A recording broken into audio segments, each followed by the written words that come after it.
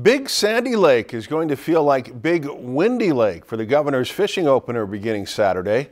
With temperatures hanging around 40 degrees throughout the weekend and winds up to 20 miles an hour, fishing experts are expecting the weather to play into the amount of fish hooked.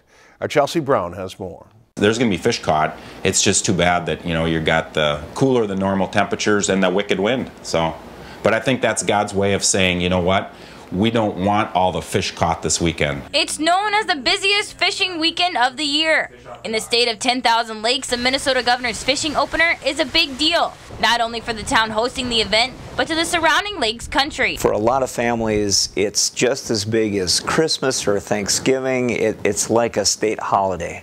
And uh, people uh, travel all over the state to get up to their fishing cabins and spend time with their families, and, and we benefit greatly from that. Due to the recent drop in temperatures this week and howling winds present today, experts believe these conditions will affect anglers on the water. But anytime you get a cold front that comes in, you know, just before you're going to go fishing, which everybody's going to do starting at midnight tonight, um, that's not a good thing. Even with the early ice cap this year with this cold front, fishing experts expect conditions to be tough, but they recommend slowing things down and downsizing in bait. I'm thinking, you know, a live bait rig with a spot tail shiner, either mouth hooked or tail hooked, kind of depending on, you know, what we're seeing and just working them really slow. The cooler temps could also influence how long anglers want to stay out. That might not be ideal for eight hours of fishing, but it is ideal for getting people into town and into the uh, restaurants and some of the other attractions that we have because once you get cold,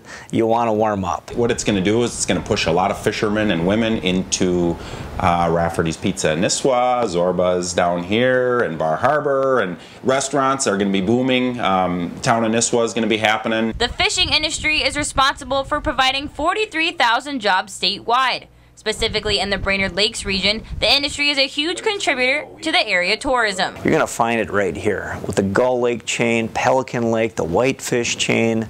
These are all pristine waters and uh, it's really a fishing mecca. In Brainerd, Chelsea Brown, Lakeland News. The Minnesota DNR expects around 500,000 anglers to flock to the water on opening day of the walleye and northern pike season. If you've enjoyed this segment of Lakeland News, please consider making a tax-deductible contribution to Lakeland Public Television.